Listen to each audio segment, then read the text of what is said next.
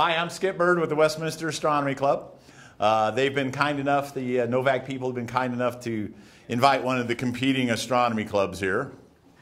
So I'll get the commercial over right away. If you want to join our club, there's flyers over there. We live in Westminster, Maryland, or uh, Maryland area, so there's no really competition. But we do a lot of outreach. Last year I talked about uh, why Chicken Little was right and uh, the Night Sky Network. I'll hit on both of those just a little bit as I go, but mostly I'm going to talk about the comet Ison. If you saw the uh, blurb for it, the great comet is coming, the great comet is coming, maybe. All right? And we'll go a little bit more. We'll talk about when it's coming, when to look, where to look, whether or not you're going to see anything. We do know one thing, and I get the, uh, the, the, the, final joke out of the way uh, at the start, is comets are like cats. Okay? They all have tails, and they do as they darn well please. Okay? So this comet, we, we're guessing. You'll see that all the time. I don't care about the end of the world. It's going to be so bright during the daytime you'll need sunglasses and all that. That's all guesswork. We'll talk about a website which should have what I call real information on it. That type of stuff. We'll even look at a couple of those to, to help you guys out. And we'll also talk about how to answer the questions that the public's going to come up with, like he already did, you know? All right? And, and also, because I like to have fun, we will make a comet, which is pretty easy, pretty simple, so that you can do it and impress the people who come out to your program, especially if it's cloudy and you can't see anything. Okay? So I, I cover all approaches. Uh, a couple of things come up with, I'll actually talk about astronomy and sky and telescope. They both have really nice maps of where it's going to be and things along those lines. Basically, for the next month, it's going to be near Mars. And Mars and the ice, Comet Ison are going to be following each other through the sky. So uh, couple, I got up the other morning, couldn't find Mars, so I didn't see, didn't even try to find Comet Ison. Somebody said they found Mars, but they couldn't see the comet. It's still pretty dim, so I wouldn't worry about it right now. But coming up in October, roughly in October, it should be starting to get bright enough to be seen with small telescopes and binoculars. Notice I got my fingers crossed. I got my fingers, I got two sets of toes, my legs, my arms, everything. See, I'm hoping. It'd be nice. And you've all heard that it's, like I said earlier, it's the comet of the century, right? Yes. Yes, thank you, thank you, thank you. I want to make sure everybody's out there. If not, I have the Mighty Awakening or Closing Hammer. Okay? This comet said, not bad. We've only been 13 years into the century, so it can be the greatest comet of all time, or, not all time, but of the century. That's not a problem. It doesn't have really any competition, at least in the northern hemisphere. Anybody been south in the last uh, 10 years, below the equator? All right, good job. Did you see Comet McNaught, Lovejoy, any of those? Oh, man. Uh, I've seen the pictures. I actually saw Comet McNaught from an airplane as I was going into Chicago uh, just before we went into the cloud bank, but we got everybody on that side to look at, so we got to see this little bitty thing about like that. So we got to see a little bit of that, and then I found out, you know, later on I should have moved to South America for the year. Uh, so, and I actually, you'll see some pictures of it from Australia and some other places, so it's pretty cool. Hopefully it will be that good. Hopefully. Because that means it'll be in the northern hemisphere. I do not understand why, maybe one of you astrophysics majors can tell me why, most of the really, really, really good comets have to come in from the north and go out of the south. You know? I don't know. They got something against us? Did we not pay our utility bills? What? What's going on there? All right, so I don't know. So we'll figure it out. Whoop, hey, one too many. There we go. All right, those of you who've been out here for the first time or the second time who've actually gone outside and looked up into the sky, you've seen this thing called, uh, what are they called? The Milky Way? Is that what it is, the Milky Way? The great galaxy of our home, our home galaxy from the inside. And I think Calvin has a wonderful take on that, you know. Those of you who can read, I won't read it to you, but those of you who can't read, I will read it to you. The cloud of stars is our galaxy. The Milky Way, our solar system, is on the edge of it. We all know that. We hurl through an incomprehensible darkness. In cosmic terms, we are subatomic particles in a grain of sand on an infinite beach. Now, this is from a six-year-old. Okay, a six-year-old. I have to look up some of the words he uses. Okay, and then he's looking up there, and then of course he brings it all back down to earth and says, I wonder what's on TV now. Okay? So he does that, keeps it on there. So, yes, if you think about everything that's going on, that's about what we are. But it's really amazing that uh, we get to see stuff like comets, we get to see stuff like uh, meteors. We actually can still go outside and see what we saw last night and the night before last. Okay? A hundred years from now, you may not even be able to see that from here. Okay? I'm not going to go into the IDA and uh, all that stuff, but if you have kids and you want them to see the dark skies at some time, besides on the, like the South Pole, North Pole, or out in the middle of Alaska, or wherever, you better get doing something about it now. Of course, we're also going to talk about Long Comet Ison. We're going to talk about another comet, 2012 Siding Springs, which, according to these guys, may actually get close to Mars. We're going to talk about that after we get done with Ison. We're going to talk about him. It might, even there's this non, non-zero, very unlikely, high percentage chance that it's going to miss or that it will miss Mars, but there's very small, very small, small percentage that Siding Springs one, the 2012, might actually impact Mars. Okay, that would be cool as long as it hits there and not here. Okay, but then again, you know, again, it's it's that would be like the man said earlier. That would be two comets plowing into two planets within the last hundred years. That never, ever, ever, ever happened. So let's all go play the lottery. So, all right, you can see here he's running through Mars. He found everybody and he scared himself and ran off. So now let's continue on down here. This is what we're hoping for. That at sunset or sunrise, Okay. Now we all know it's better at sunset because more people are awake at 5 p.m. than they are at 5 a.m. I don't know why, but that's the way it works out. We're going to hope we're going to look out to the west or the east, actually the east, and we're going to see that, right? Okay? I hope so. Because if it comes up and looks like this, do you see the comet? Right there? Right there? Yep, yep. See the city. Uh, oh yeah, oh yeah, that's normal. That's you will see that, but that, there's the comet. Okay, that's not the comet. All right, one of those two is going to happen. We don't know which. We won't know. We'll have some better guesstimates as it gets closer when I talk about the, which website to go to uh, to look to get the real information. Then uh, you can do it. But those are our choices basically. The public is thinking that oh, we're going to have this. All right. That's McNaught, by the way. We hope we have this. All right. But we know better than to say, "Oh, come out! We're gonna. Oh, it's gonna be. Oh, it's gonna be so fantastic!" And then they're gonna go out there and go, "Where? What? What am I looking at? That little fuzzy ball?" You know. Remember? Anybody remember Pan-STARRS Last, you know, it's not not more than a few months ago. Okay. Uh, we actually had like, oh, I don't know, maybe 15 or 20 people actually could see it naked eye. Most of them were under the age of 25 and uh, it was only a couple of different nights. But we saw it several times with binoculars and telescopes, which is pretty cool. But that's what the public is expecting. They're expecting that because, not because of us or any of the local astronomy clubs, anything like that. Everybody who probably doesn't know anything about astronomy or is working for Fox News.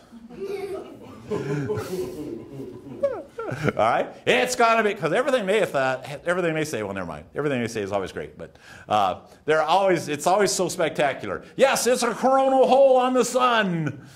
Well, it was just the same hole three weeks ago. You know, four weeks ago when it came around the first time, it just wasn't noticed by the people. Right. This is what I'm hoping for. New Year's Eve. All right.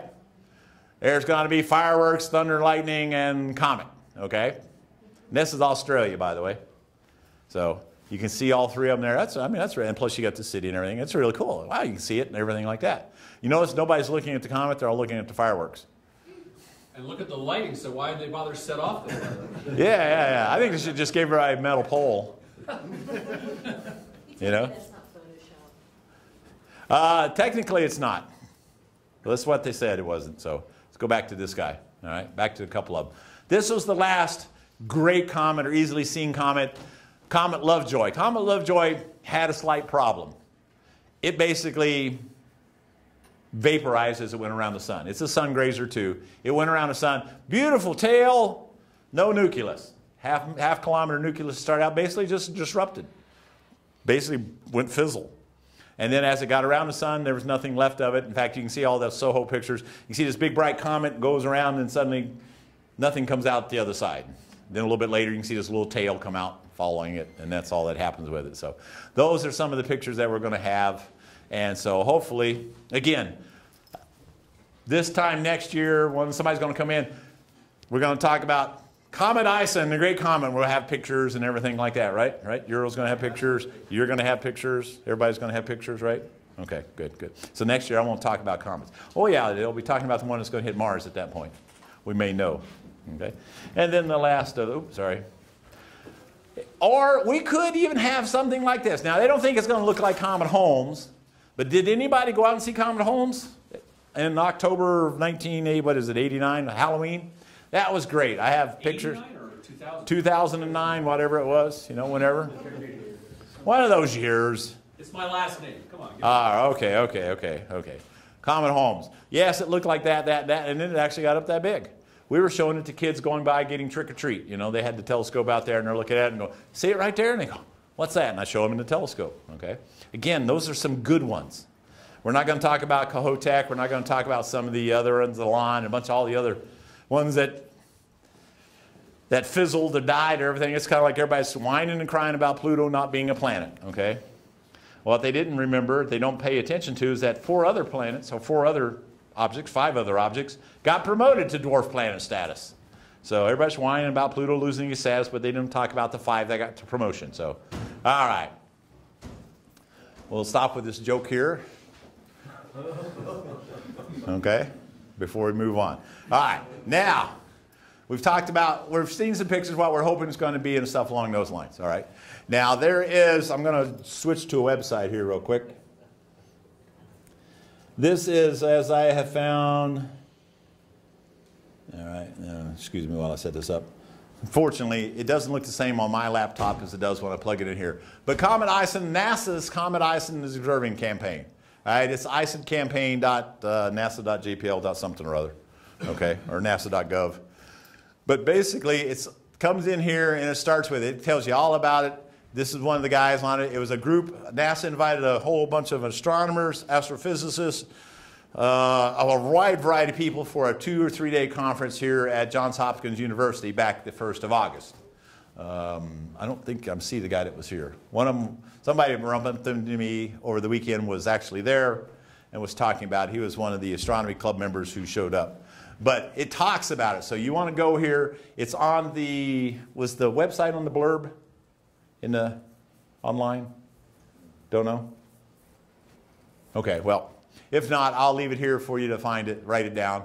Okay? And they have they talk about they do different things. I'm just going to quickly go through most of this just to show you some of the stuff. So that's a Hubble picture of the comet. Okay? There's the people who discovered it. They've got look at that big fancy observatory they have. You notice it's a container crate. All right? It's a metal container crate, a metal container crate. And there's their telescope. It probably has a top that, that lifts up. I don't, hopefully they got something to lift it up because they use the metal container. It's got to be heavy. But these are the two Russian guys. And we'll see more about them when I show you the, I got a couple of short video clips here. All right. There's a comet going into the sun, never to come back. Where did it come from? Uh, this is, they're talking about some of the other ones. They think that the Great Comet of 1680 was related to it. Yes, it's related to it because they both are going near the sun. They both are going very near the sun. Very, very, very close to like what? Was it 1 million kilometers? Okay. Basically, it's like, compared to the Earth, it's like flying below the uh, space shuttle. I mean, not space shuttle, the International Space Station. Okay. Would be, would be a good reference for it.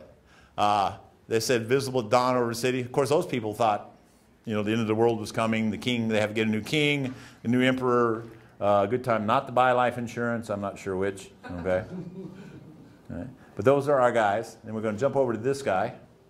Ah, yes, there's Comet Hale-Bopp, the last great comet that we know of, if you want to call it that. Comet Hale-Bopp was about uh, 10 kilometers across. It was, they, they're suspecting it's about four to five times bigger than uh, Comet Ison. And uh, it was 110 million miles away when it was doing all that stuff. This one's going to be a lot closer.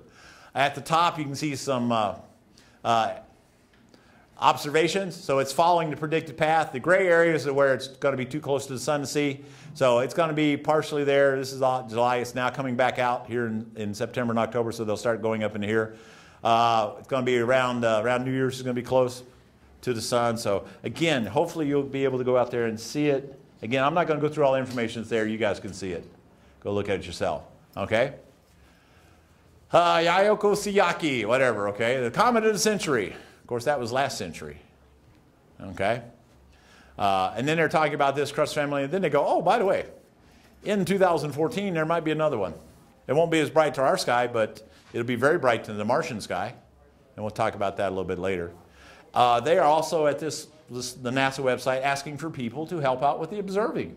They're going to have Ares 14 or 15, I forget how many spacecraft they're going to have, ex exploring this thing, all right? They're going to have everything they can get from with all the sun watching stuff to go. You can, they can click on the links and stuff, all the sun watching stuff, all the major observatories. Basically, everybody that's got a camera and the telescopes will be looking at.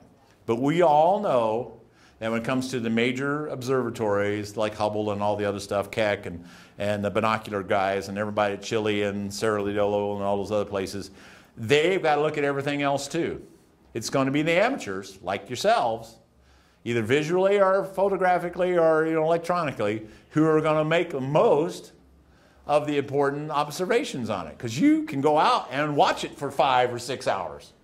Or you can go out and watch it for 10 days in a row, whatever it is. They won't. They only have time. In fact, when they talk about it, they, they, they got four dates. One, one uh, satellite's going to be able to look at it. Four different dates. And two of one of them's already passed. The other one's the end of September. Okay? So they're not going to be able to. So they're asking for your help, and that's also going to be something that you can do. You all know that if you go out, anybody ever go out and put their telescope in the front yard and were amazed at how many people stopped? Stopped and said, "What are you doing? What you looking at?" You know, well, I'm looking at the sun. I'm looking at the moon. Or, well, look, see, there's Jupiter over there, or something like that. You just put it out there. Uh, we're working with the uh, Carroll County Libraries, the library branches, to do a program. Their biggest complaint is it's up in the morning. Well, we don't open until 9 o'clock. I said, so? What's that got to do with anything? You know, celestial mechanics wait for no man. All right, or no business. So we've got permission now to be on their properties at 4 a.m. or 4.30 a.m. to do the programs. So we're working with them in advance to get the programs up and running so that the public who does decide to come out and I went out there one time and I did set up for one morning for uh, something else, a conjunction of the planets, and had about 50 people who were driving by at 4, at 5.30 in the morning wondering what I was doing out there with my telescope, who stopped long enough on their way to work or to get their latte or whatever they were doing to find out what was going on and stop and see that, you know, point out what we were doing. All right. This is called the ISON Atlas. If you want to know when and where to look, isonatlas.wordpress.com. You can get a link from the other place, comes into it. All right? And you can click on August, September, October, November, December. Uh, again, these are done, he'll tell you about that, and this is not what the tail is going to look like. It's just to try to give you an indication of which direction the tail is going to be pointing when you're looking at the variety of, of the things. Yes, we'd love for it to come out that morning to be this you know, stretching from Pegasus down here to Lepus, you know, 40 degrees or 30 degrees across the sky. Oh, please, please, please, please, please, please. All right? But probably not, probably not. And uh, you can get scroll down through it, and uh, it talks about the different things. But here, what I also did is I put up some charts here of where it's going to be in September. All right? And being that we're in September now, there it is through the beehive talks about it, the beehive and Mars, everything like that. But yeah, uh, you'll be able to enjoy the view, but you will not see it with there. Keep going, Mars and Comet ISON, so you get a little better view of it. And if you go into uh, Astronomy Magazine, September and October issues, uh, September they basically parallel, in October they change positions.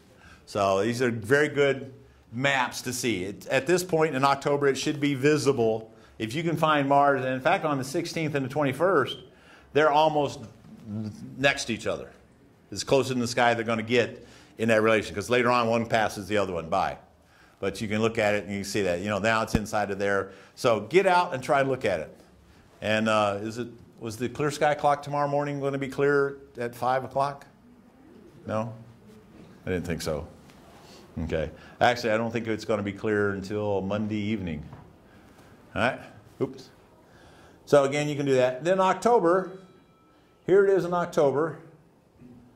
Mars and ISON and the moon come up. There's some good groupings if you're going to do any photography. the moon, the beehive, things along those lines are all in that area, and that's uh, probably the second or third of October. You see all of them in that area now. There's a little bit of tail. Should be a visible tail at that point. In binoculars, maybe small telescopes, let's hope. Mars and the moon should make a nice, nice pairing for all you people who like to take photographs or do quick sketching for an hour and a half. All right. And then the last one is, ah, what's Earth Sky? Why do, why do I have her in here? Oh, okay, this is some pictures. You can go there, live up to expectations, month by month. Oh, this is where I got those charts from. Yep.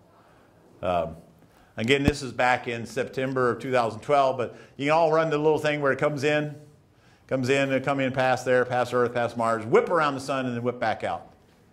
Uh, anybody, if you're a teacher, this is a good time to teach your, if you have math or astronomy or physics students, now this is a good time to teach them about ellipses, ellipses, and uh, why, you know, it covers certain, certain areas in a certain same amount of time. You know, I was going to go from here to here in this amount of time, but go from here to here in this amount of time, okay?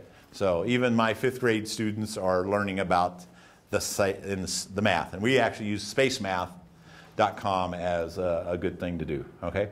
So that's basically all of that portion, all right? Oh, we're back to the tractor beam. All right, I'm going to leave that one here. Now what we're going to do is we're going to talk a little. Tell me when you see what's there, raise your hand. Okay. Stars?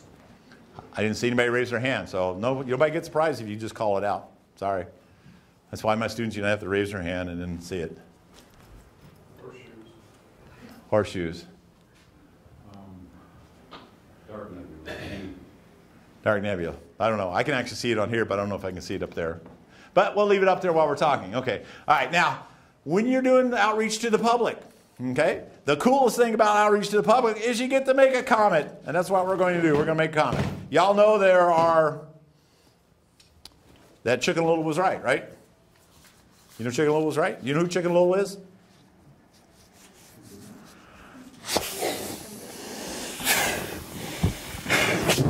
You sure you know who Chicken Little was? All right? Chicken Little was right. The sky is falling. One of the things that we'll notice from the comets, and we'll talk about a little bit later, is that Comet Ison has a chance of producing a meteor shower. It, and we'll talk about it in more detail, but it has a chance, and we're actually going through a meteor, through the tail of the meteor, or the shower as it goes by. This is an actual meteor. Okay? All right. It has a chance of going through the tail, and we're going to see we have a choice of having a meteor shower on both sides of the planet. We'll go into that in more detail. But we can do that, and that's really cool because most of the meteor showers in the world, or not in the world, but in our solar system that we see are coming, over, coming from comets, leftover comets, 42 out of 44. And they technically think the, the other two, the, the two that are from asteroids, because the asteroids themselves are following comet-like orbits, that they're just the burnout remnants and we're still passing through the tails of them and stuff along those lines. So, uh, as if who was here last year? All right, so you remember the great failure of 2012, right? Okay, okay. All right, so we're going to see if we can. As last year, because unfortunately my dry ice got wet, uh, I told them that uh, we're going to do a thing called research. The definition of research is if we knew what we were doing, it wouldn't be called research. Okay? And that failure is just an unplanned result. So last year we did a lot of research with unplanned results. This year we're going to do a lot of research with hopefully planned results. So we're going to find out here in a second. Now, comets have thousands and thousands and thousands of ingredients. Uh, but before I make a mess, I got to get prepared here. So I've got to put on my apron, right? If you're going to cook up something, you got to put on an apron, right? Uh, like that. And I do have, I do, I will need an assistant here later, okay? I will need an assistant. Anybody want to raise their hand to be an assistant? I don't see any hands up there. All right, we have an assistant. Come on up here. Come on up here. Yes, young lady. And you get your own apron because I don't want you to get dirty either. Okay? So here you go. Put this on over your head. All right, turn around here. We'll tie this. Tie this in the back. Oh, man, this thing's. Is this going to be too big for you? Huh? Nope? Okay, all right. Well, hopefully it won't. If it is, live with it. All right, all right. So you're my assistant, okay?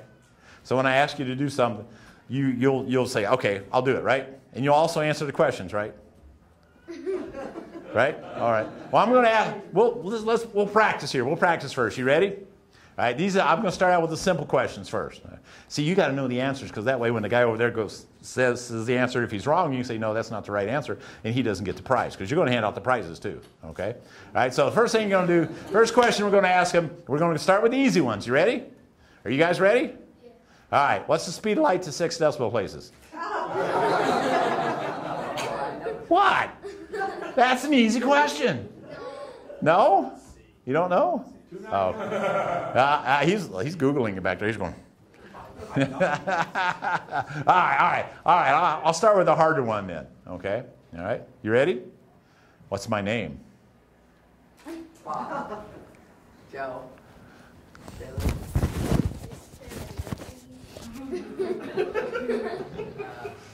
Boy, oh boy. Yes, sir. Turkey vulture? Sam. I got the vulture part, but turkey, no, it doesn't match. Nope, nope, nope. Kangaroo vulture might work. Okay. Kangaroo vulture might be close. You know what? My, well, I even told you what my name was when I was sitting in here. Right here, in case anybody. It's, uh... okay, okay. Steve. It's Fred. Oh. Hold on. Fred. Fred Whipple. Oh, wait, he's here. I can't see that. All right. Well, sorry. Let me put this back on here. Okay. All right. All right. We'll start with it. All right. We're going to put a bunch of ingredients now. There are thousands. Anybody figure out what it is yet? If you figure out what it is, raise your hand. Okay.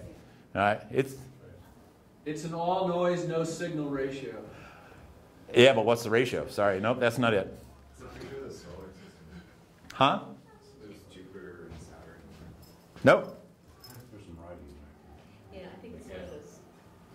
It's it is it's what it is. It's one of those 3D ones. Okay. I don't know if this is good enough resolution. You it, later on, I'll turn the laptop around. You can see it. So here, we'll go this way then, since that's not a good one. Okay. We'll go back and we'll leave it on this one. All right. Now there are hundreds of thousands of chemicals and elements, minerals. I won't say minerals, but hundreds of thousands of elements and combination molecules in a comet. All right. Hundreds of thousands of them. Now I can put all those, and we're going to make a model. So we can put all those in there, right? We'd be here for her, what? How old are you? I'm turning 10 on the 19th. This month? So your birthday's this month? All right, make sure I give you a special prize for your birthday, okay? All right, all right, all right. All right, so you're turning 10. If we did it, we will, when she's grad, when she's 65, we'll be done. All right, when she's 65, we'll be done. You got time? No. Oh, well, yeah, we don't have enough tape either, so okay. All right, so we can't do that. So I'm going to limit it down to five ingredients, but I'm going to need your help, all right, including anybody over the age of five and under the age of 105. I'm going to need your help because we're going to be scientists, we're going to be observing today. So we're going to put in five ingredients, right? So if I do something strange and I want you to raise your hand and say, Mr. Bird, Mr. Bird, all right, if I say something wrong, you know, like totally wrong, and if, by the way, if you're, you're an astrophysicist or an astronomer and I say something wrong, just ignore it. If we're here for entertainment purposes. All right, so I'm going to say something like, we're going to put in, f- or my apron is white and hers is blue. You're going to go, ah, Mr. Bird, Mr. Bird. Um, you're technically yours. Mine's blue and hers is what? White. Are you sure? Yes. Okay. Now I had something here, had some giveaways to give away, but what did I do with them? Ah, here they are. All right. So he gets the first prize. So run him over there and give him this little sun thing, okay? All right, run that over to him. All right, so you get the first prize. So that's what we're going to do. We're going to do stuff along those lines. So we're going to put in five ingredients in this comet. Five ingredients. And we're not got all day to put hundreds of thousands, but we only got time to put in five. And by the way, you can win these too, by the way. Are you paying attention? You can win prizes too, okay? All right, y'all ready? Five ingredients. Five. Five. Five. Y'all ready? Like. What does that mean? You're doing seven. Seven? Seven fingers. One, two, three, four, five, six, seven. Well, I'll be darned. I do have. Why do I have seven fingers up there? Go ahead, take a prize. Take a prize. All right, take one of those. Yep, seven fingers. All right, whose turn is it? It's your turn. Okay, what are you guys doing? I know you're excited because there's people, but it's not your turn. You return later. Okay, okay. Thank you. Thank you. My dad said you can always talk to yourself, just don't lose the argument. All right. So we're going to put five ingredients in a comet. See, she's paying attention. We're going to put five ingredients in a comet. Okay. The first ingredient in a comet is a thing called rock. Let's all say that. Rock. Rock. Rock. Rock. Rock. Rock. No, Gornak's not here anymore. All right. Rock. It's not the rock monster anymore. It's just a rock. Now, this may look like sand. Okay. May sound like sand, but it's not sand. It's rock. If you ever take, I by the way, I have a digital microscope out there. Sorry, commercial for hands-on optics. We have digital microscopes out there. You can look at this, and you'll find out that sand is actually. Can, can, can I have the pet rock you were passing around? No, you cannot. and I did not call it a pet rock. Uh, all right, but r- sand technically is rock, and I can't call it dirt because dirt, dirt's got organic matter in it. You know, like plants, animals, people, other things along those lines. So can't do it. So we're going to put the rock in there. That rock is what gives us all those shooting stars, all those, not all those shooting stars, but all the meteor showers we have. If you check, most of them are following comet paths. They're all from comets. What happens as our little comet evaporates as it gets closer to the sun? It leaves this little trail of sand. Okay? All right? It leaves a little trail of sand. Here, won't you? Here, hold out your hand. I want you to walk around and show everybody that. Okay? All right? All those little particles. When you look up inside and you see that little streak going across the sky, that piece of sand or that rock made it.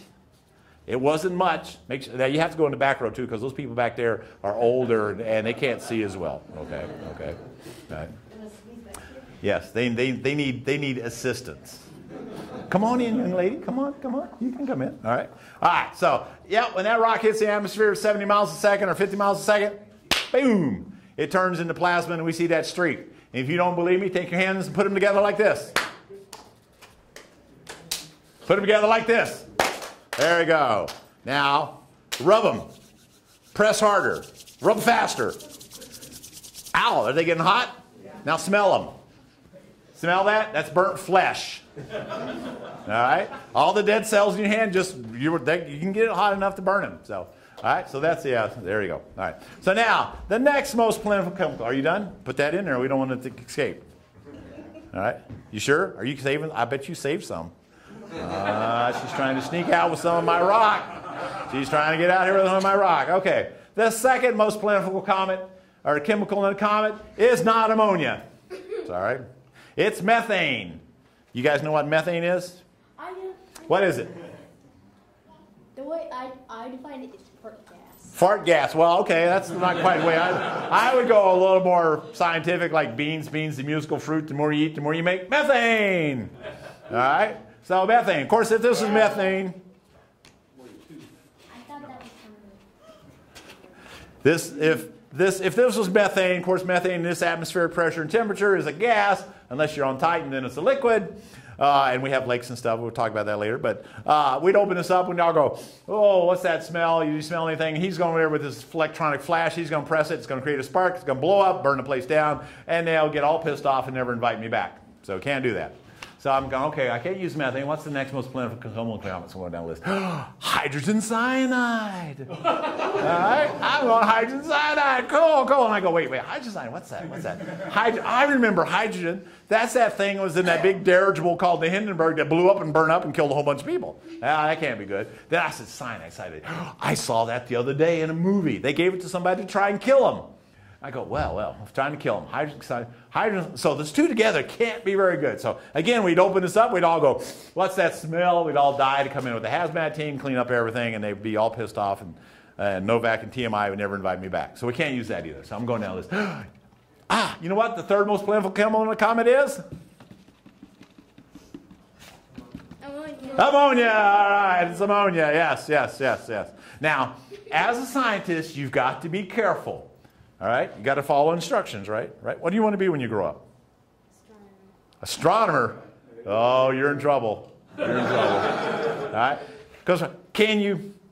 You want to be an astronomer? I'm going to be a mechanical engineer, so I got a hammer. I can do things with my hammer. I can touch it. I can see it. I can play with it. Right? Can you go touch a star?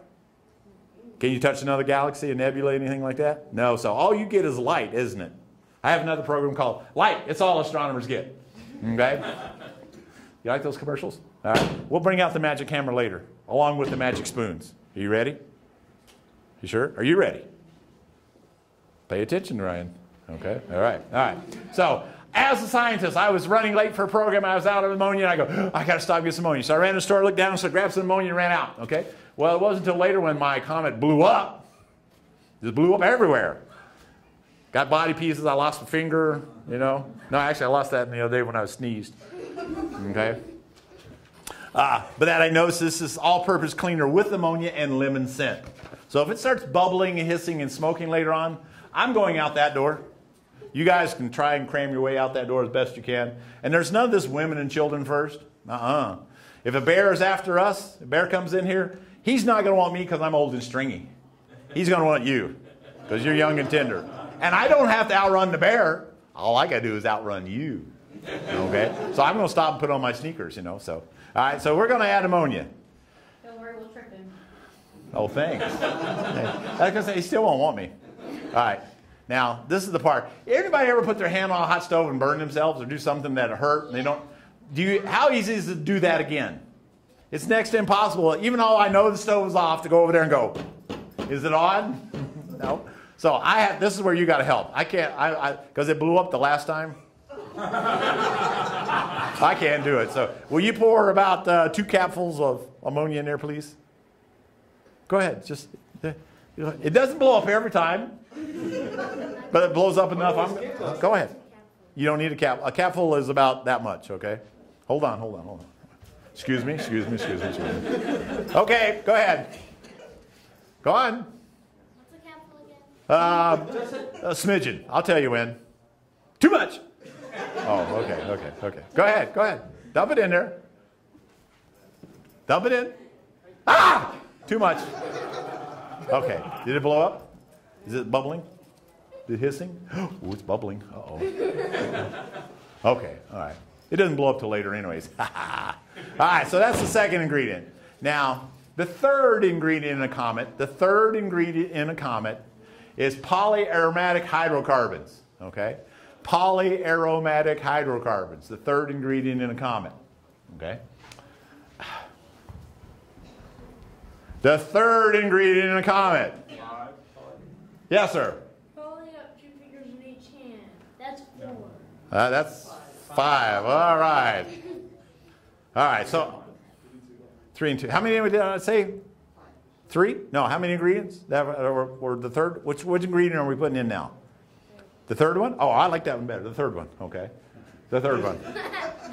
Wait, I still have too many, don't I? Which one? Whose turn is it? I'm so confused. All right. Whose turn? No, I know it's not your turn. You guys have. It's your turn, right? Okay. So why why are you guys there? I don't care if they're not paying attention. It's not your turn. Here you go. Hey guys, wake up. All right, all right. So there, I like that. There's three ingredients. All right, give him another prize. Here you go. Here, give him a prize. All right. Even though he can't count to five, he did get a prize for guessing I had more than three fingers up. All right, so there's the third ingredient in a. The third ingredient in a is a thing called polyaromatic aromatic hydrocarbons. PAHs. I keep getting tired of saying polyaromatic hydrocarbons. Or polycyclic aromatic hydrocarbons, whatever it is, you know, something along those lines. So I just say, you know, I'm just going to say pause. Right? Now, they're found in out in space, they're found in gas clouds, they're found in planets, they're found in everything living. Every single thing that we've ever found, we've always found these guys in them. All right, so I said, oh, that's cool. So they could be a basis of life. We don't know anything like that. But we look for that when we're looking at for planets around other stars, okay? Now, I can't go out in space and get some PAHs, polycyclic aromatic hydrocarbons. So I'm just going to say PAHs. Can you say PAHs? Pause. Can you say poly, polycyclic aromatic hydrocarbons? No? How about you? Poly? Cyclic? Aromatic? Hydrocarbons. Good, good, good, good. English is his first language. That's good. That's good. I like that. I like that. Okay. Now I can't go out in space and get this. So I'm going. If I can't go out in space, if I could, this would be worth tens of millions of dollars, and I wouldn't waste it to make a comment. Actually, I would. I'd sell half of it, get five or six million dollars, and then waste the other half because I can. All right. How much money do you need? Yeah, how much money you need? You know, five, ten million. That's what you, you know. Some people just got to have it all. All right. So I figure, well, if it's found in everything alive, it's probably still in everything that's dead. So what I do is I walk around the room here. I look for dead bugs, flies, anything like that. Okay. I grab them, throw them all in the blender. If I'm really lucky, I'll find some stink bugs. I know they got to have polyaromatic hydrocarbons in them because they're very aromatic. You know. So so I throw them all in, and if I'm really, really, really lucky, I'll find a mouse and a mousetrap.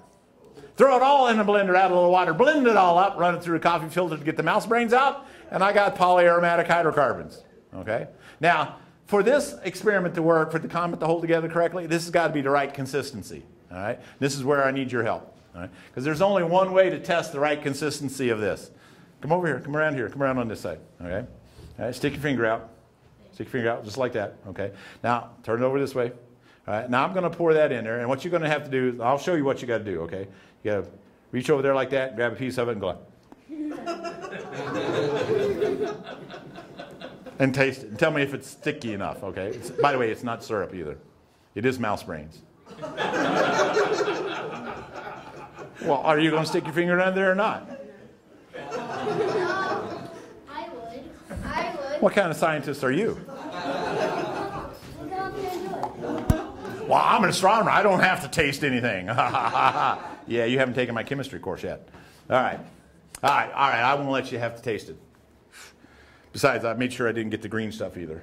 All right. Somebody says, ah, that's syrup. No, it ain't syrup. It might be motor oil, but it's not syrup. All right, so that's the third ingredient in the comet. Thank you.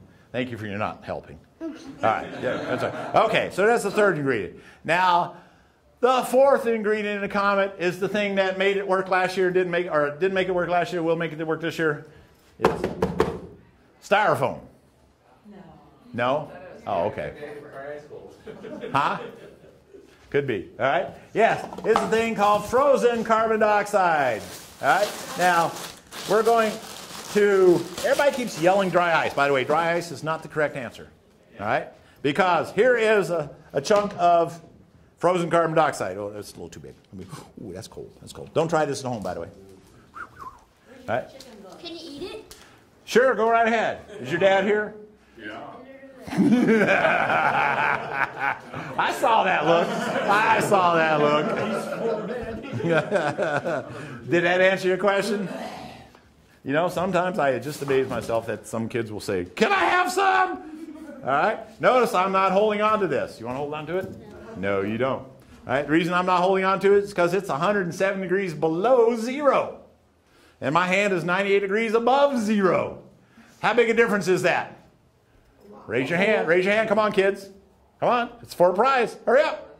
I know it requires math. Uh, it's hot. No, I want numbers. Shh, shh, shh. It's really. No, no, no, no, no. Go ahead, no. 268. 268. No. Oh, so close. Does anybody need a calculator? Is that what you guys need? Yes. Yes. 270. 270. Oh, you got the numbers correct. You just don't got them in the right order. Yes. 702. Whoa.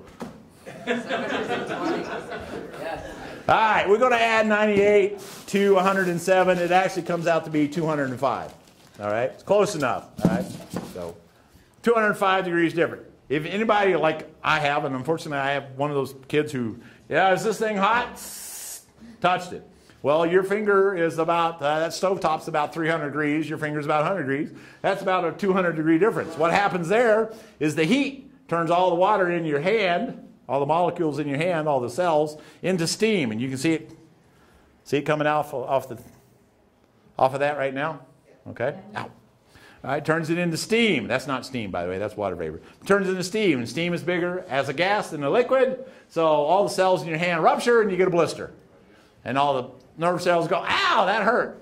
All right? Well, if I was to do the same thing here, I'd hold on to it. This being 107 degrees below zero, and we all know that water freezes at what? 30 degrees Celsius. Um, Is his dad here? You might want to work on his science. Okay? 32 degrees Celsius. Oh. What time? What temperature does it freeze at? Yeah, that's it. That's the correct answer. All right. There you go. Here, give her one of these. All right. Here you go. You get the right answer. You got the right answer, you get one. Yeah, I'm supposed to give it to them. Oh, well, oh, I'm sorry. Oh, oh. She's going to make a good wife someday. all right, all right. Yeah, actually, it's zero degrees Celsius at 32 degrees Fahrenheit. But the fact is that it's 200 degrees colder than my hand will cause it to do the same thing. The ice, the water in the molecules or the cells of my hand will freeze. And as we know, when water goes from a liquid to a solid, it gets bigger. It's really unusual. It goes from a liquid to a solid, it gets bigger, it goes from a liquid to a gas, it gets bigger. Not too many other chemicals or molecules actually do that. Okay?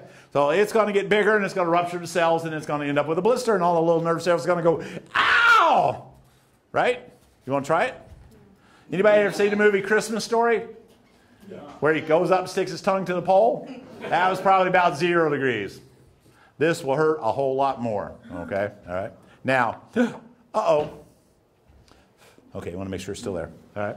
Now, if I were to take a regular ice cube, which I don't have, and lay it down on the ground, when it melted, what would we have? Yes? Water. water. No, we have water even though it's not. We have frozen water when it's an ice cube. We all have still be it'll still be water when it's melted, and it will still be water when it's a gas. But what is it when it's melted? What state of matter? Come on. Huh? Liquid, give him a prize. All right, right there. Give him one of those. Okay. A liquid. It's going to be a liquid. So when an ice cube, a, a water, a H2O molecule melts, it turns into a liquid. Well, the frozen carbon dioxide, when it melts, look there. What do you see? You see anything there? No, you don't see anything there. It goes straight to a gas. It's called sublimation. Let's all say sublimation. Sublimation. You didn't say anything. Sublimation. No, this young lady next to you. Oh, okay. Make the lips move a little bit more so I can see him next time then. Okay, all right. It's like sublimation. That sublimation, okay? When it goes directly from a solid to a gas. That's why they call it dry ice. It does not leave any a puddle behind. Very good. Give that lady there a prize too, all right? Here you go. She can have one of these. Give her one of those, okay? All right. All right, so yes, it doesn't leave a puddle height. So we're going to put that next ingredient in there. And lucky for me, we do have that next ingredient. All right, yay! All right, you want to do this? Can I do it? I want to do it. I want to do it. I want to do it. There's not a good chance that they're going to make it to 21. I wouldn't bother with, well, actually, I might do with life insurance now. Okay, all right, all right. All right. Oh, cold. I'm supposed to have my protective glove on, but I forgot to put it on, so. Uh-oh. Bear food. Ah, there we go. All right. Ah, let's just make a nice blow in there. Whew, cold. All right, let's see here. In the meantime, we got we got time. I can take another hour and a half to talk, so I'll actually drop this in here, and you guys can watch it bubble for a little bit. All right. While we're doing that, but before we go anywhere, actually, we'll finish up before we do that. All right. We're gonna mix our ear. Shake this up.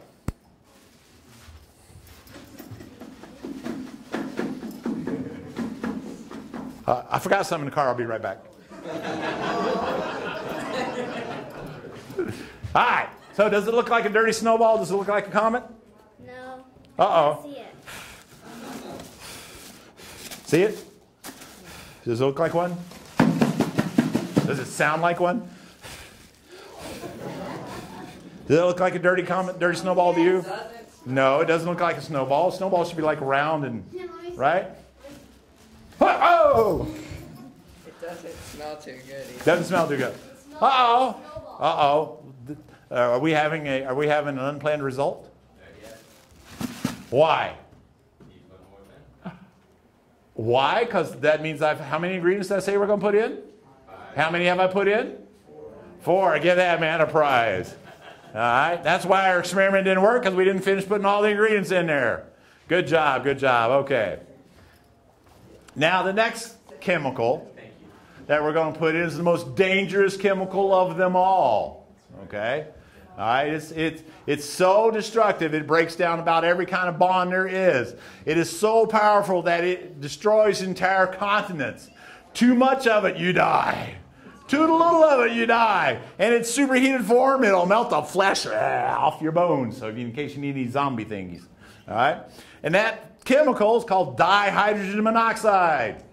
Now, dihydrogen monoxide goes, oh, there's one of those big words he's using again. So, let's take a look at it. Dihydrogen. Di means two, not, ah, I'm dying. All right? Two hydrogens. Mono means one. It means monooxide, so that means one oxygen. So, what has two hydrogens and one oxygen? You got to be under 16. Come on, hurry up. Five, four, yes. Water, yay, H2O. All right, here. Yeah, here, we'll give you another prize here, right? Here you go. You get a Cat's Eye Nebula poster. Okay, okay. All right, so yes, H2O. is the most dangerous chemical of them all. So, and by the way, this is, notice the little line on the inside? See that little line across there? All right, that's calibrated to be 237.5 milliliters of water. Any more, any less, this thing blows up. All right? Of course, I can't see anything because of all the smoke, so I'm just guessing. Oh, good. Is that too much? Nah, not enough. Right. Oh no, I got too much! All right, now, we're, since we, we're going to pretend we're going to be gravity, what we're going to do is to mix this all up, shake it around. Now, I do this program all the time, and occasionally I forget what I'm doing. Boom! What? What? Is it? Promise? That's, I told you that's why I missed a finger. Here, you hold it. Where are you going? Come here, hold this, hold this. Let me spin it around a little bit. Oh, man, look at that. She's blowing away. Of course, these kids go, yeah, yeah, let me hold it, let me hold it, Dad. I really, you, I wouldn't bother with the insurance. Don't worry about whether or not you anything. College funds, they ain't gonna make it, man. Spend it down. All right. Oh, did I say, what did I say about hissing and spitting and? Can you hear anything? No. Oh, good. I can hear it. I can hear it. Can you hear it? Oops. Sorry. You didn't see that. All right, let me clip back on here. That's why. Ha. Okay. All right. So we're gonna do our gravity thing here. We're gonna squeeze it out. Uh oh. Uh oh. Uh oh. Uh oh. It's foaming! Ah, Run! Run! I told you, see, you got to be a scientist. Don't get ammonia with lemon scent and cleaner, okay, with lemon scent, because it does really strange, bizarre things. They're not supposed to bubble up like this, okay? All right? They're not supposed to do this. All right. Go ahead, reach in there, grab it. Grab it. Grab it, go ahead. Grab it. Grab it. Grab All right. Now, you know, oh, hold on, hold on. Of all, over the years, I've done this a lot of times, but over the years, you know, I've lost a lot of things. I mean, I can't tell you all the things I've lost. Toys, car keys, homework, homework. I even lost my kids, okay? But they managed to find their way back every time. Next year, though, we're going to Grand Canyon. So we'll see, all right? But I even lost my first wife, but that's a whole different story, all right? Uh, that, but you know, of all the things that I lost, you know what I missed the most? My mind. All right, lucky I have a spare one here. Okay. That's supposed to be a joke. Y'all supposed to laugh. Har, har, har. Okay, okay. okay. There we go. All right, out. There's my comment. Let me get rid of all the fuzz. Oh, listen to it. Listen to it. It's going to blow up. Hear it? Hear it? This thing. I told you. Oh, what did I say about hissing and bubbling and spewing? It's not spewing. It's not spewing. Here, hold this a second. Hold this a second. Mm. Don't drop it. It will blow up. Okay, you got it? You got it? I got to take this outside and dump it real quick.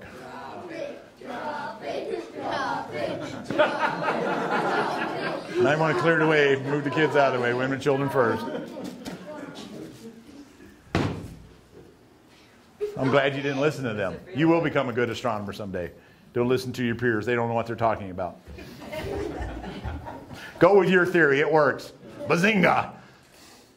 All right, This is a comet Christmas tree. Notice the little Christmas tree shape? All right.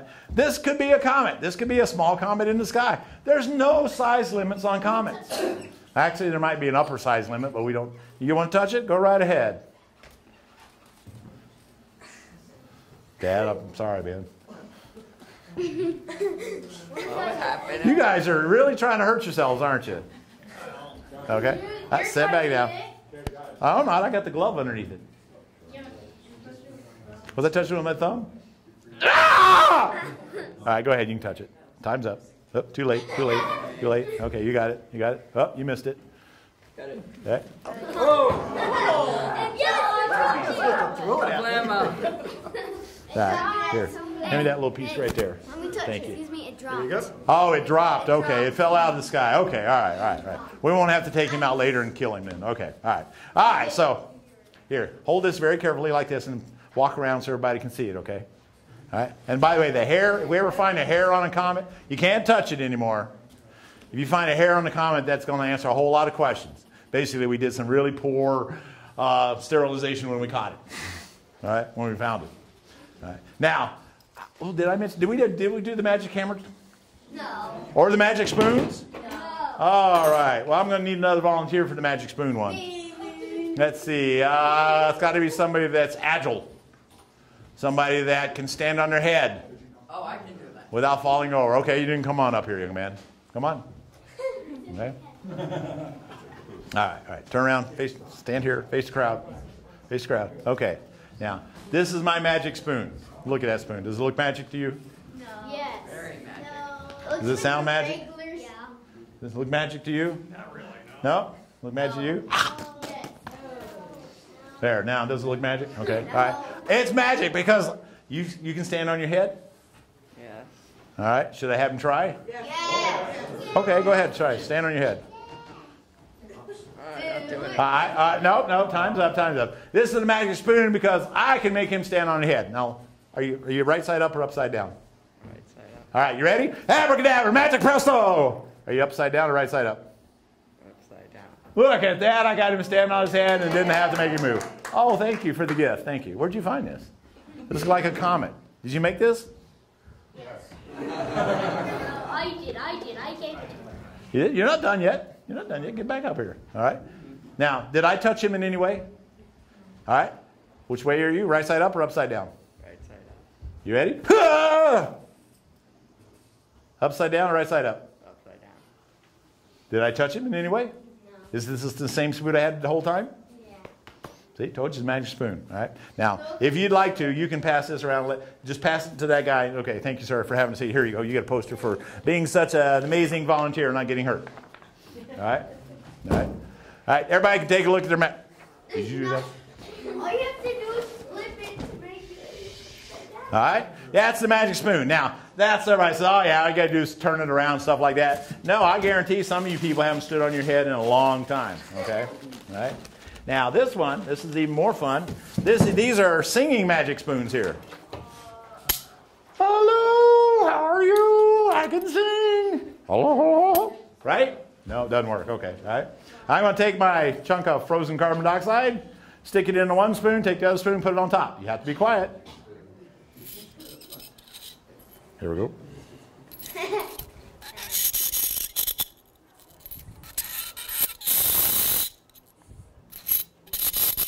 They sound like they're being tortured.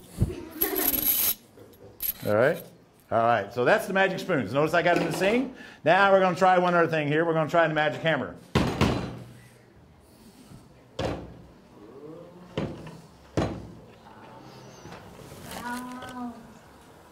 No, I don't hear the hammer.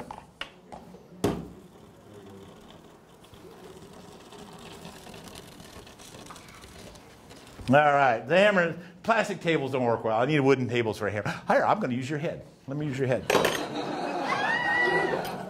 Use mine. What? You're my helper. You said you'd volunteer. I. Here we go. We'll put it on here. Oop. sorry, sorry, sorry, sorry. Beans last night. Okay. All right, all right. So, see, I can make them make them make noise, right? Magic, right? Can you make them make noise? Go ahead. Go ahead. Here, here you go. Make them make noise. Go ahead, put them together, make noise. You had the ice. So you said you could do it. You don't get the ice. See, you got to specify your questions. All right. All right, yeah, those are the magic ones, and we won't go into the physics why they work and stuff like that, but they do. Right. If you happen to notice, though, notice our little comet here is outgassing. Notice you're getting the little, the little trail behind it and stuff as we go through, as we get closer to the sun. Okay, as we get closer and closer and closer to the sun. All right. Right? We actually said it there. That's what happens when a comet gets close to the sun. It starts outgassing, it starts sublimating. In fact, it's got a little geyser sticking up. That spews all that dust and gas into the atmosphere, or actually into space. The sun ionizes that gas, and that, that dust reflects off the dust. We see that, ionizes the gas, they reflect, they glow, and that gives us. This man was up too late last night, sorry. And I know, and I'm boring you too, so okay, I understand. All right. So that's where we get all of our common tails and things along those lines from. All right, here, let's move this. All right. Now I'm going to put this back in here. Actually, I'm going to drop it in here.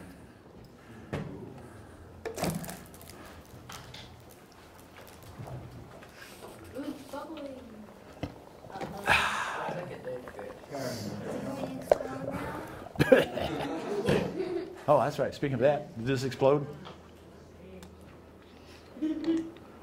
Ah, one way to get Dr. Pepper cold. All right. Anybody figure out what this is yet? Let's see. No, can't see it here. All right, you'll have to come up and look later. But I gave you a hint. All right, this is the comet path, or comet Ison's path in September. All right, basically September 1st, so it's roughly right here. There's Cancer right there. Actually, Mars is a little ways behind it, right behind it. It's actually out of the picture, but will be in this area. Around the 16th to the 21st, Comet Ison and Mars will be exactly close together. Okay, and then the 21st, huh? Are you tired already? Are you done? Am I am I done with my helper? Okay, go ahead. If you want to give up now and don't get all the prizes, you can. Okay. You sure? You want to stay? Okay. All right. Just want to make sure. All right. All right. Now I need you to go around and get me some more poly uh, aromatic hydrocarbons, would you? What What are they made out of? Go around. uh, I see. In fact, I see a couple over there.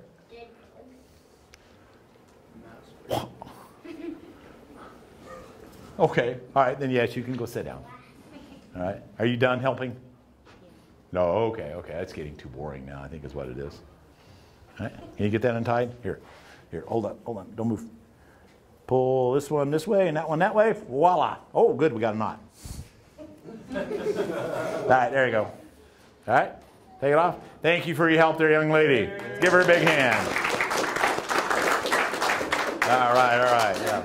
And here you go. Since you were such a good helper, you get one of these. Ooh, it's just an empty white envelope. so there's our path. So we can go out and look at this. Uh, again, I probably should have done this talk on Friday so we could have went out and tried to see it on Friday or Saturday, but we can't. But that's basically what it's going to be. Again, it's going to be very, very, very dim. Very. How many varies did I say? Four. Well, let's see. I got three there. I got eight there. I got a hand here. Got three. No, I actually said four. I said it was very going to be very, very, very dim. How many varies did I say? Four. Four. Mm-hmm, mm-hmm. See, see. You got to pay attention. We're scientists. We got to be observing at all times. All right. All right. And then almost the last one uh, to finish up and wrap up everything is my favorite Foxtrot cartoon. And that's the way I barbecue. All right, so um, again, you're going to have a lot of lot of questions for outreach and things along those lines. You're going to have a lot of uh, uh, people who are going to come up and ask, go and get all weird on you with, uh, uh is it going to run into the earth? Are we going to be destroyed? Are there aliens flying in behind it? Uh, all that stuff. You can always just refer to this comic to answer that question. Um, do along those lines. So again, there's so much out there, so, so much wrong information that's coming out there that's it's incorrect that people are going to go, well, I heard, you know, and some people are going to be, you know, again, let's not talk about Fox News, we're going to talk about them. But uh, they're all, they're going to be out there trying to hype this all up, which is great. If it turns out to be a spectacular comet, great. Yeah, all right. Yeah, I won the lottery. All right. If it turns out to fizzle, burn and fizzle and sizzle, all right, then it's not going to be good. In fact, here, let me. There, I got the real quick one here. Where is it? All right, last one. Uh, there we go. Let's see, which one's this? Sizzle, fizzle, and burn. Nope. There we go. Ah, yeah, here we go. Ah, here's your choices. The epic fail. Okay? First case is the worst case. Epic fail uses popular. But this means enters the inner solar system and just fizzles out, burns up, falls apart, disappears. We can't see squat. Okay? It can happen. We don't know. Okay? Uh, unstable, simply vaporizing. I mean, Comet Elenin did the same thing. Okay?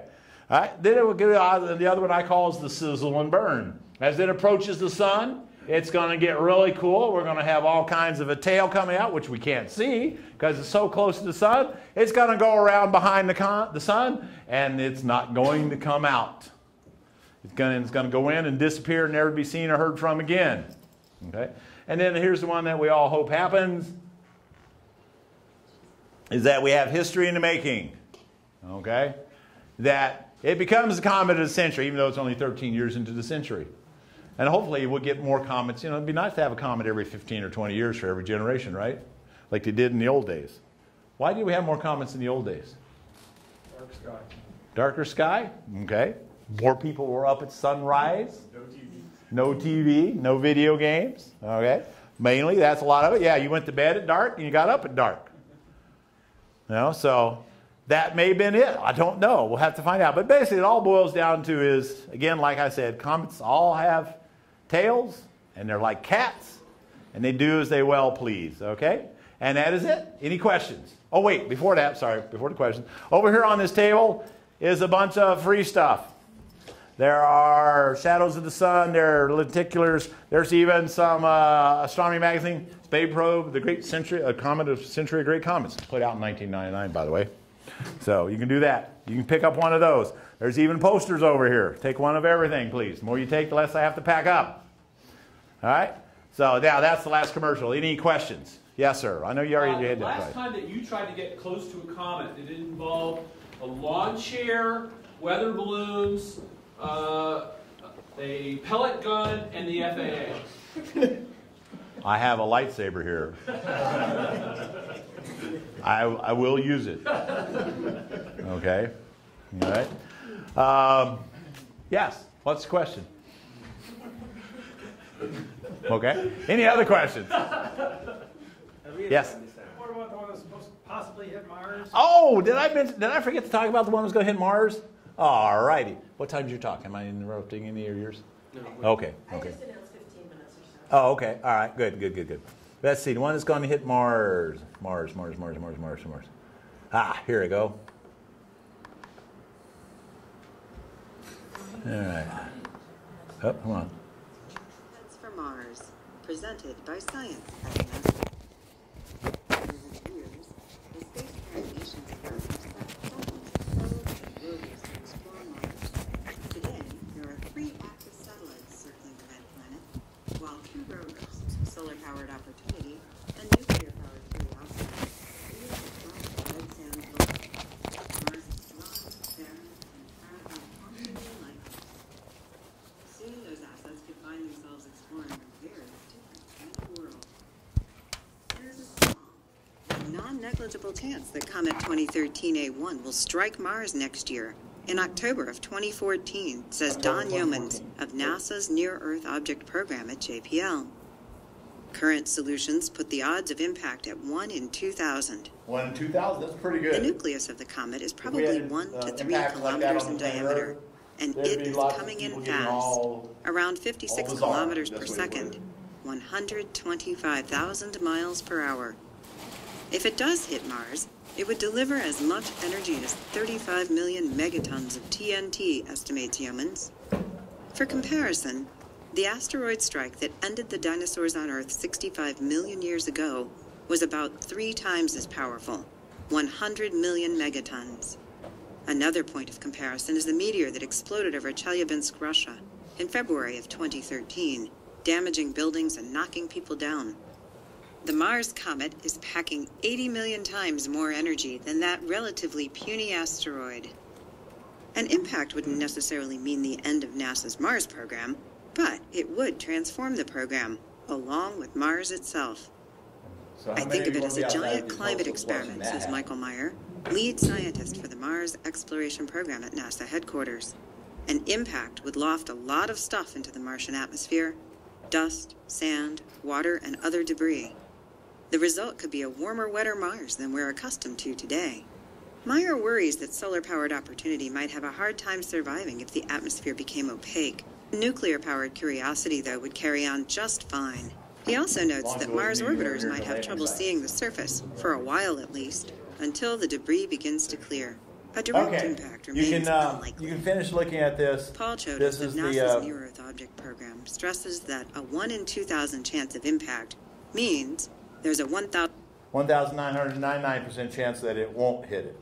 All right, these uh, websites are all at the NASA. Let's see, where is it? A comet heads for Mars. Science at presented by Science at Oops. NASA. Okay. All right, sorry. Back it up here again. We'll get that up there for you. Why is there such an uncertainty? Uh, because it's so far away. Again, uh, they're working at it. It was discovered in 2012, but it was discovered like way, way about like Comet Ison was out past Jupiter. Okay, and it was just discovered before it went technically behind the sun. Uh, so it's supposed to be coming up some more information on it here. I thought this month sometime. Uh, and it's it's another. It's not one. It's not going to be one of those that's going to come from the south and go from the north. It's actually coming in this way, roughly the same direction and traveling that Mars is going at that time. So it's going. Mars is going this way, and it's coming in this way too. And then it'll swing around the sun and go on back out. So they don't know yet, and they don't know what the effect of Mars is going to have on it. So the, the jets that are boiled off from the sun um, as it passes near it, can that change its tra- trajectory? Yes, but not enough to do it any good. You're talking something the size, you know, millions and zillions of tons over a long Over a period of time. period of time. Yeah, yeah, it might change it a little bit. Okay. Uh, even the Yarkovsky effect on, on meteors and asteroids and stuff is enough to make an effect on it. But again, there's so much matter. You're talking something a mile across, Right. and those are those aren't very powerful jets. You know, to us they're a vacuum. They're still a vacuum, but they're a lot more than they would be in a normal vacuum in space. So, uh, so that's where you go. There's a couple other ones there on the collision of Mars nearby. Even a comet Ison is going to be observed by the Martian uh, op- by opportunity and things along those lines because it might be visible in its sky. Okay, so that's what we're talking about. So you can go look at that. All right. So now let me uh, get done here. and We'll answer some questions, give away some more prizes. Okay. Oh wait, never mind. Yeah, don't unplug it. I know. All right, let's get rid of that one. Let's go to the next one. There, back to this one. Okay. All right, so let's answer some questions. All right, y'all ready? Can I, can I have a helper? I need a helper. I need a helper. No? All right, all right, you can come up and help.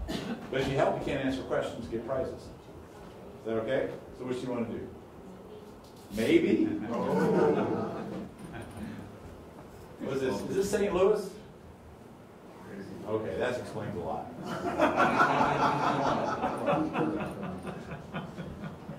All right, he's gonna be my helper. You're gonna have that prize, okay? We gotta answer this real quick because we got another guy waiting. All right, first question. What was my name? I don't see any hands up. No, you already know. Yes, sir. Fred. Fred. How about you? You know? Bobby. Nope. What is it? Turkey vulture? Turkey vulture? She told me. What is it? Skip bird. Skip bird. All right, give her a prize here. Give her one of those uh, white ones. One of the white packages out there. It's okay. Oh, she's already got one? Okay. All right, well, then she doesn't get another. She's got all the prizes already. So. All right, all right. We'll have to ask another question. Okay, how many ingredients did I put in the comment? Back there. How many? Fine. Are you sure? Yes. I count seven. But five. Yes, go ahead and give her one. Yes, five ingredients, okay? And by the way, that was your last chance to tell me I had five, seven fingers up and missed it. All right, all right, now, out of those five ingredients, which one's probably not quite true? Yes, sir. Get your hand up. Oh, okay. Which ingredient wasn't quite true? Yes. Ammonia. No. Anybody? Well, I didn't do a good job, so never mind. Okay. What's it, plenty of molasses? About what? Yeah. What's it Dead called? bugs. The dead bugs. All right, give her. She can have another one. There's more prizes in here. Go ahead and give her another. one. All right, give her one too. Yeah, the quality of the dead bugs. All right. Yes. All right. Last question. What was my talk about? Which one? Ison. All right. Go ahead and give him a prize. All right. Everybody else, if you want to, come on up here. Grab one of everything up here. Carry it all the way. All right. Thank you very much, and we'll see you hopefully next year.